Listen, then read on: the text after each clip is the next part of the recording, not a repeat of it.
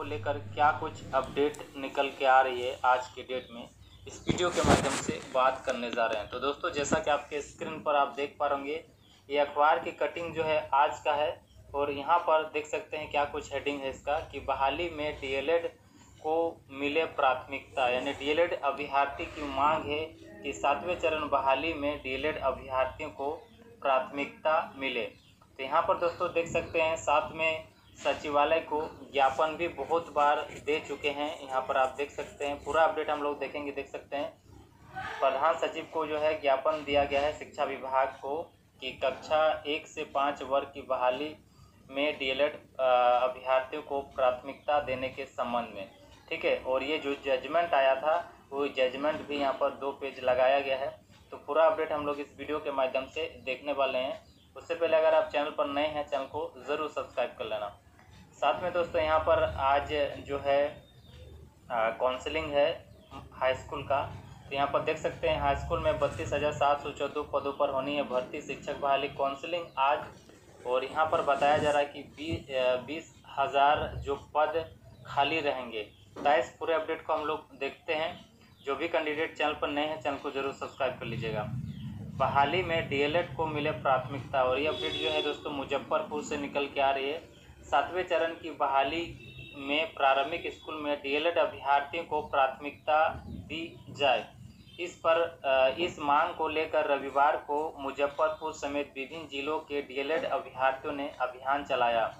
अभ्यर्थियों ने कहा कि छठे चरण शिक्षक बहाली में भी कक्षा एक से पाँच में शिक्षा विभाग ने डीएलएड को प्राथमिकता देने की बात कही थी, लेकिन छठे चरण के मूल विज्ञापन में डीएलएड की प्राथमिकता की चर्चा ही नहीं की गई थी, जिससे जिससे नाराज़ अभ्यर्थी उच्च न्यायालय रुक किए थे, ठीक है?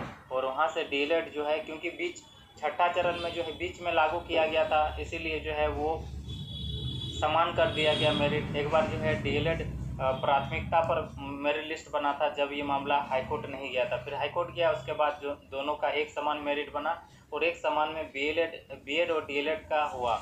लेकिन यहाँ पर सातवें चरण में जो डी अभ्यर्थी हैं, उनकी मांग है कि हमें इस बहाली में प्राथमिकता मिलनी चाहिए।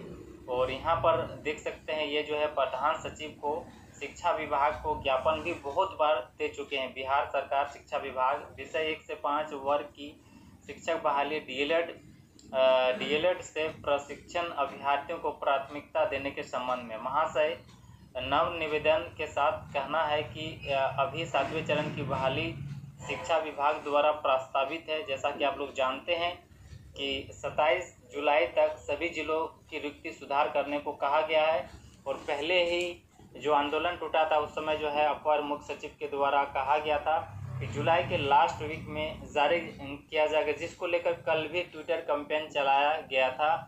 तो यहाँ पर आप देख सकते हैं, लिखा है कि विभाग का ध्यान एक से पाँच की बहाली में डीएलएड से प्रशिक्षण प्राप्त अभ्यर्थियों को प्राथमिकता देने की ओर दिलाना चाहते हूँ, यानी याद दिलाना चाहता हूँ। छठे चरण में भी विभाग की ओर से डीएलएड उत्तीर्ण अभ्यर्थियों को एक से पाँच में बहाली में प्राथमिकता की बात की गई, लेकिन इसका ज़िक्र मूल विज्ञापन में नहीं होने के कारण मामला कोर्ट में चला गया था। ठीक है? यानी उसमें कही गई थी, लेकिन बीच में लागू कर, किया गया था, यानी जब नोटिफिकेशन जारी हुआ था, उसमें प्राथमिकता नहीं, बीच में लागू किया गया था। लेकिन कहा था सरकार ने कि अगले चरण में आएगा तो डीएलएड को प्राथमिकता मिल भी सकता है, ये जो है सरकार के ऊपर डिपेंड करता है।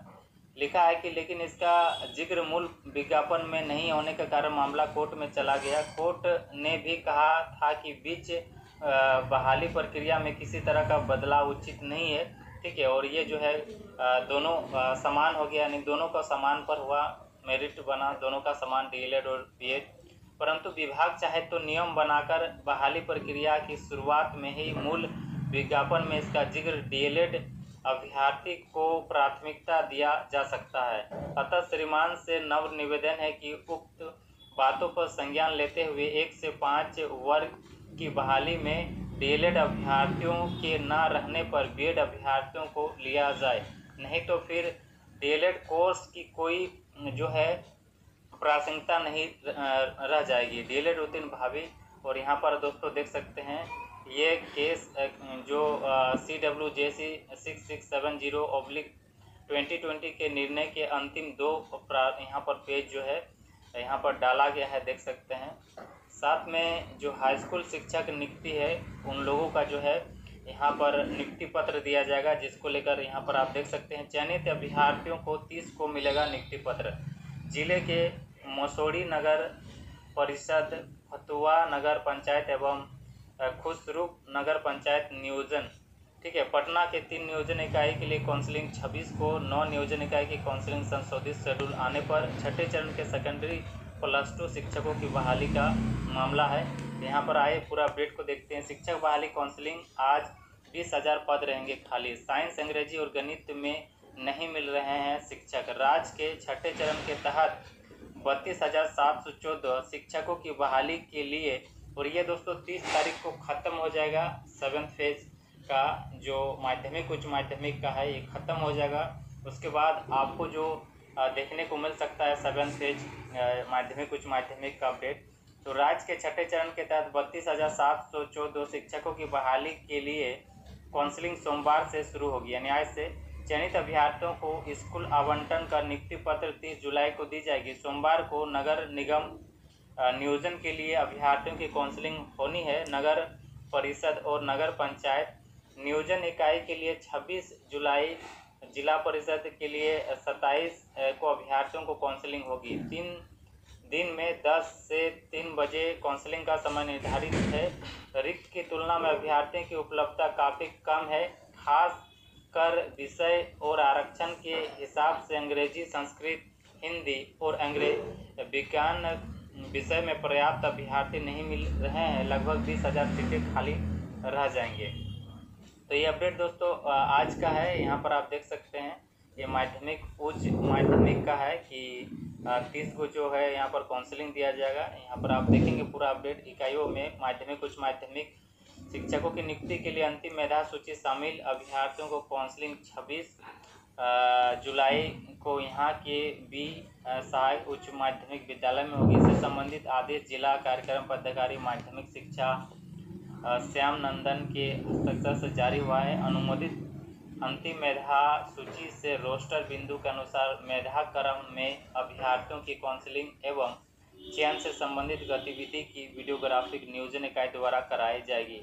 काउंसलिंग स्थल पर अभ्यर्थियों की उपस्थिति पंजी अनिवार्य रूप से संशोधित होगी, चयनित अभ्यर्थियों का। तो ये दोस्तों छठा चरण का है। जो माध्यमिक, उच्च माध्यमिक का है, इस अपडेट में फ़िलहाल इतना ही। आगे के अपडेट्स के लिए इस चैनल को